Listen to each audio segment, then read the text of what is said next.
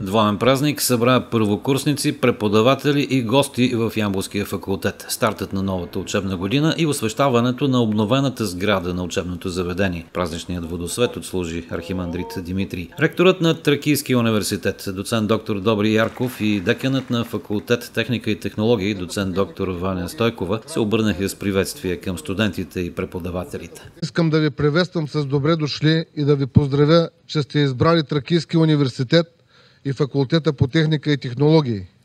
И ви уверявам, че не сте сбъркали. Защото познавам колектива на факултета и знам, че той е от изключителни професионалисти, а факултета набира все по-голяма и по-голяма скорост и върви нагоре. Знам, че се подготвят професионалисти, които се реализират много добре в практиката.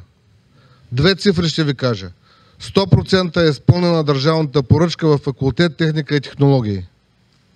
На Тракийския университет като цяло 98% вече сме изпълнили държавната поръчка. За пореден път нашият факултет ще отвори своите врати, но тази година това ще са вратите на една обновена сграда. Ще посрещнем и ще обучаваме нашите студенти – в учебен корпус, корпус, който изглежда съвсем различно. Днес тържествено отбелязваме откриването на учебната година и при, приключването на проекта, финансиран от Националния доверителен екофонд за подобряване на образователната инфраструктура на факултета чрез пакет от енергоспестяващи мерки.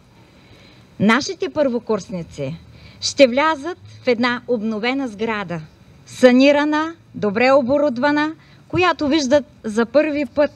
Но за колегите от горните курсове и преподавателите ни разликата е видима. Сред гостите на тържеството бяха областният управител Димитър Иванов, председателят на Общински съвет Ямбол Антон Шиков и кметът на града Валентин Ревански. Скъпи първокурсници, искам на първо място да ви благодаря, че избрахте да учите в Ямболският факултет по техника и технология и се надявам, че освен знание и ще получите много умения, които ще бъдат необходими в вашата бъдеща реализация. 74 са новоприятите студенти в 7-те специалности в първи курс. Първокурсниците с най-висок успех в приема получиха своите студентски книжки лично от ректора на Тракийския университет. Отново бе спазен и традиционният ритуал по предаване ключа на учебното заведение на новоприятите студенти.